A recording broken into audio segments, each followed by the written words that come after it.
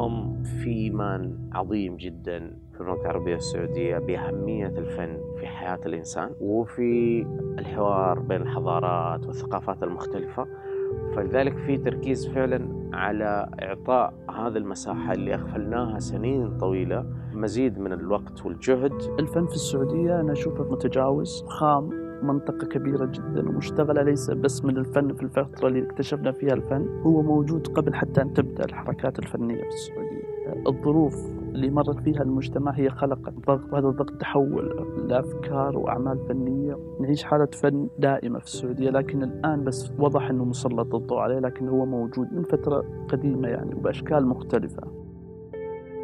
القادم مذهل في حراك الفنون بدأ يبتعد الفنان عن فكرة الأنا الذاتية ليصبح هو مؤسسة متحركة وممكن ينضم له فيزيائي وكيميائي وعالم رياضيات ليخرجوا أعمال فنية مذهلة مختلفة.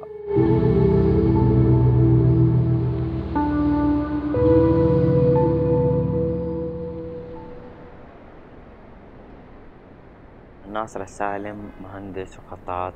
درست الخط في الحرم في مكة من عمري تقريبا 13 14 سنة إلين ما تخرجت من الجامعة. وفي الجامعة درست هندسة معمارية. في 2012 عملت معرض شخصي في أثر. وبدأت أشتغل على ممارسة الخط إنه يخلق شكل معاصر. أنا راشد الشعشعي ولدت في منطقة الباحة. وعشت طفولتي في منطقة الباحة حتى آه، أصبحت فتى انتقلت لمنطقة مكة المكرمة وأكملت بقية حياتي فيها درست بكالوريوس في مجال الفنون وأكملت دراسة الماجستير في نفس مجال الفنون أعمل كمعلم لمادة التربية الفنية والفنون في التعليم العام في المملكة العربية السعودية من 17 سنة تقريبا عبد الله العزمان من مواليد الرياض وولدت بحركة فنية مدهشة. قبل الفن كنت أكتب الشعر أصدرت مجموعتين شعرية. بعدين وقفت عن الكتابة لأن الكتابة لها مجالها في المجاز وأنا في هذا الوقت كنت أحتاج أنه أفعل بالفن. أقدر أستخدم الصوت والضوء والإضاءة والركب والصراخ كل الأدوات اللي متاحة في هذه الحياة تعطيني إياها التجربة في الفن. نعمل إقامة فنية مع مركز الملك عبد العزيز. التابع لأرامكو لمدة ثلاثة أشهر تقريبا. ولنا الآن شهر ونص وباقي لنا شهر ونص من من الاكتشاف والبحث والحب. نسبر فيها ونكتشف فيها تفاصيل الحياة في مدينة صخبة وجريئة وسرعة الرصيف فيها مختلفة عن أي مكان في العالم. يلتقي فيها أفواج من جميع أنحاء العالم جنسيات مختلفة ولغات مختلفة.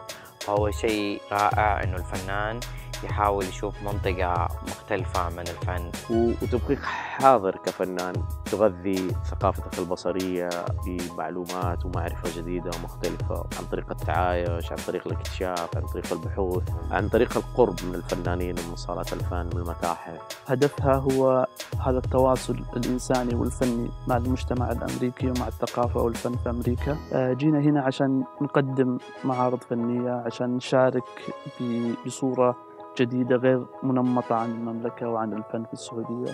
والاكتساب المعرفة هو تقريبا هدف شخصي بالنسبة لي وجزء من الهدف الكبير للإقامة الفنية في نيويورك.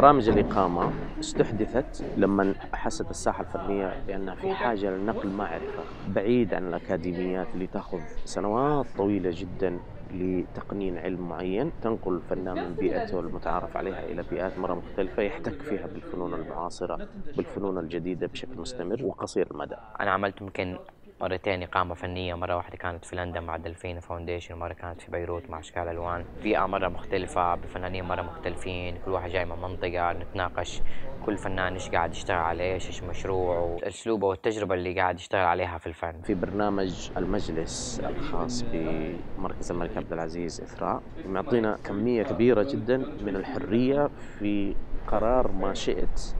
لخدمة فنك وخدمة ثقافتك وتنميتها. فعادة أنا أميل إلى فكرة استقراء الحياة المجتمعية وفهم علاقات الارتباط في المجتمعات وكيف الحياة المعاصرة والسريعة تأثر فيها.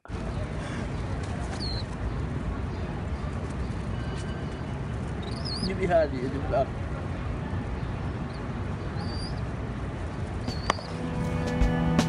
أنا في نيويورك تقريبا ما مر علي أسبوع يشبه الأسبوع آه، اللي قبله. ما يمر يوم إلا ويكون عندي برنامج خارج الاستديو يا زيارة معرض زيارة متحف. أو ورش عمل أو افتتاح ل- لإقامة فنية ثانية أو استوديو ثاني وأحيانا نكون نطلع بنقابل فنانين نطلع نقابل ناس هم مختصين بالفن فيعني هو ما هو ما هو ملتزم بيوم كامل كل يوم تلاقي فيه جدول. نطلع يعني آه نعيش شوية في نيويورك يعني كتجربة جديدة علينا نشوف الناس المدينة البيئة هذه اللي اللي تعتبر من أهم أو أكثر البيئات مهتمة لل- للمجتمع الفني. هذه بالفورنس سويتها في دبي 2015 جلست أسمع 21 أغنية.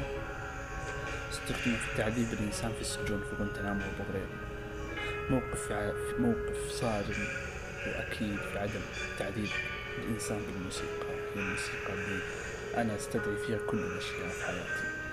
فوأنا في هذه اللحظة كنت جالس أسمع دخلت واحدة ترقص رقص تعبيري حر.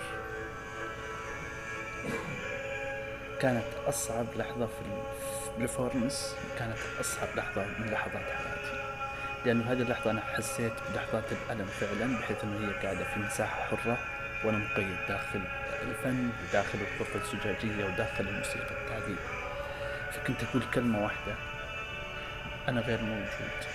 أنا غير موجود. أنا غير موجود. فعلا تمنيت ما أكون موجود.